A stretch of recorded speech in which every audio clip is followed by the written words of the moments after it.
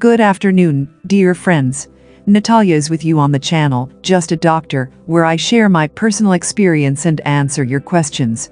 Many of my patients who are actively engaged in sports and not only are interested in such a drug as meldonium or mildronate. Usually there are two questions. The first one is, if mildronate increases endurance, maybe you should use it when you are actively engaged in sports. The second question is, can this remedy harm your health? Athletes were banned from taking it. There is scientific evidence that mildronate has a bad effect on the body of a healthy person. The fact is that it reduces the synthesis of carnitine by disrupting the correct energy metabolism of our body. Scientists from France, based on the protocol of the Institute of Biochemistry in Cologne, came to the conclusion that the constant use of mildronate leads to a sharp increase in the level of oxygen circulating in the blood, which helps a sick person and harms a healthy one. As practice shows, mildronate is often prescribed by cardiologists to nourish the heart muscle.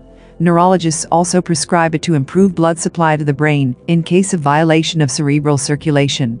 Currently, it is actively used for rehabilitation after COVID-19. Patients say that it perfectly restores strength. However, a study to confirm the effectiveness of mildronate in various clinical situations has not yet been conducted. What do we know about mildronate? The product is available in the form of capsules, liquids and in the form of tablets. Its main component is meldonium, a compound that is part of the cells of our body. The drug increases endurance, increases performance, stabilizes physical and mental stability under intense loads. Cardiologists prescribe it for coronary heart disease, myocarditis and heart failure. Usually, the medicine is taken before 5 p.m. since the ingredients included in the composition contribute to an increase in excitability and can affect the quality of sleep. The general meaning of the action of meldonium is that it switches the metabolism of the cell from the oxidation of fats to the oxidation of carbohydrates while optimizing the energy production of adenosine triphosphate, thereby reducing the load on the heart muscle. I am often asked, is mildronate safe for health? It has been established that it does not have a destructive effect on our body. However, in some cases of its use, especially for intramuscular forms of the drug, various allergic skin rashes, heartburn, nausea and vomiting may occur, a drop in blood pressure is rarely noted. Do not use the drug for severe kidney diseases, liver failure, with increased intracranial pressure.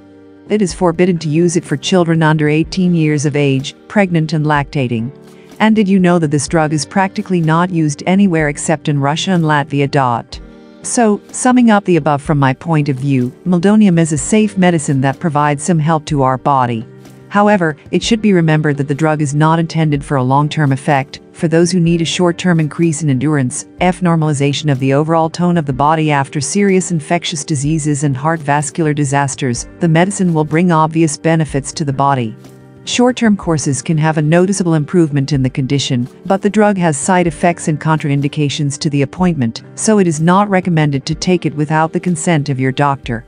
In addition, after stopping taking mildronate, in some cases there is an addiction of the body during the course to receive energy under the influence of the drug. When stopping taking the drug, the body is forced to quickly switch to nutrition in the old way. It is this transition that in some cases has an undesirable effect on the well-being and general condition of the body. Do not abuse it unnecessarily. Subscribe to my channel and be healthy.